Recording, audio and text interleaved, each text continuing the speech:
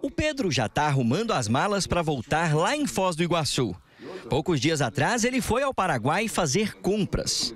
Na ida, quando chegou na cidade da fronteira, ele pegou a mala que achava ser a dele. Mas quando chegou no hotel e abriu, a surpresa não era a dele. E mais, tinha um pacotão de dinheiro. Na hora eu assustei. Assim, já fiquei assustado porque, como foi na quarta-feira, eu só vi o dinheiro na quinta. Eu fico imaginando o susto da pessoa, né? O desespero do dono do dinheiro, né? Preocupado, né? Porque as malas são idênticas. Ele é fotógrafo e tinha ido no país vizinho comprar uma câmera.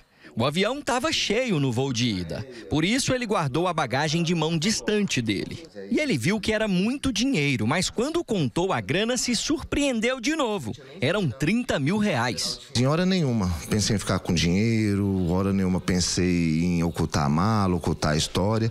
Pelo contrário, fiquei desesperado porque me coloquei no lugar da pessoa. Mesmo se a pessoa tem muito dinheiro, se era o dinheiro da vida da pessoa, é da outra pessoa. Vivemos tempos difíceis.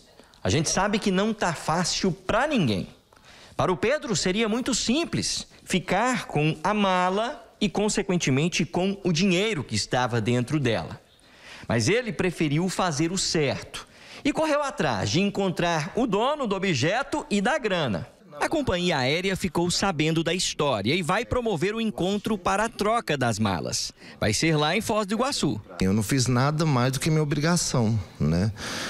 E até demoramos um pouquinho a encontrar, mas encontramos ele no sábado e graças a Deus o dinheiro já vai ser transferido já imediatamente.